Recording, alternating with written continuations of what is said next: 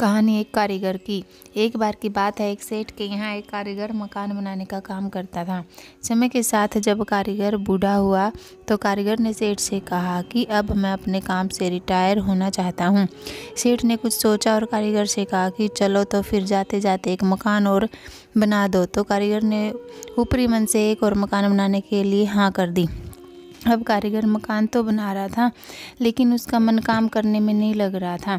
सोच रहा था कि सेठ के यहाँ इतने साल काम किया तो भी जाते जाते कुछ देने के बदले मुझसे काम करवा रहा है।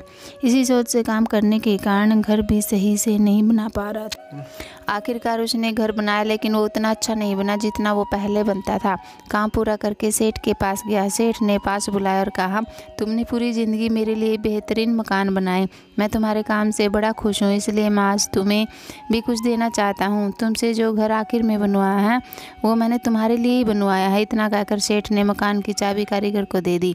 अब कारीगर मन ही मन पछता रहा था कि मैंने खुद के घर को ही सही नहीं बनाया। दोस्तों, इस गाने से हमें शिक्षा मिलती है कि हमें अपना काम ईमानदारी से करना चाहिए। बाकी जो नतीजे मिलेंगे, वो अपने अच्छे के लिए ही होंगे।